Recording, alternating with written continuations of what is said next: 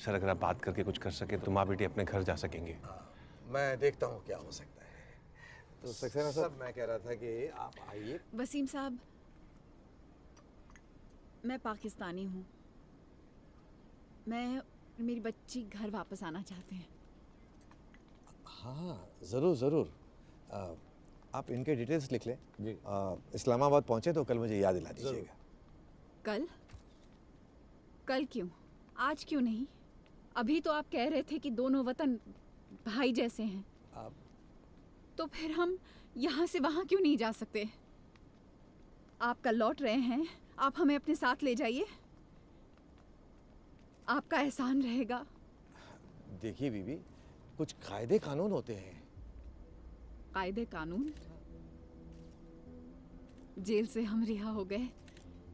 लेकिन इन कायदे कानूनों ने हमें अब तक कैद रखा है।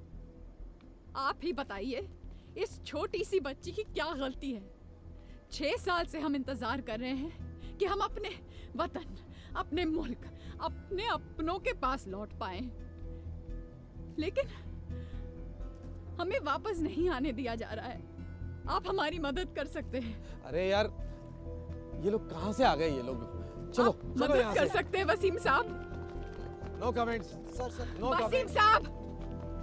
क्या वो सही कहते हैं पाकिस्तान अपनों की मदद नहीं करता